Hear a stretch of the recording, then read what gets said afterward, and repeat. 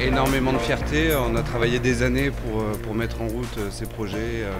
Euh, adapter euh, notre mode de culture et préserver la biodiversité. On l'a fait en accord avec notre fédération, donc on est vraiment ravis d'être récompensés ce soir. C'est jouons cette partie tous ensemble.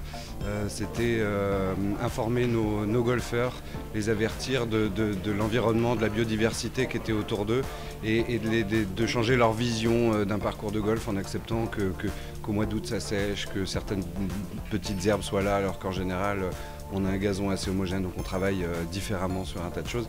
Et on informe énormément les golfeurs pour qu'ils acceptent les parcours de demain. Oui, oui, oui, on a déjà euh, une première récompense qui est le label euh, argent sur la conservation de la biodiversité. Celle-ci se cumulant, on va continuer nos actions bien sûr. On travaille avec l'AEPO et le Muséum national d'histoire naturelle pour, pour amplifier nos actions.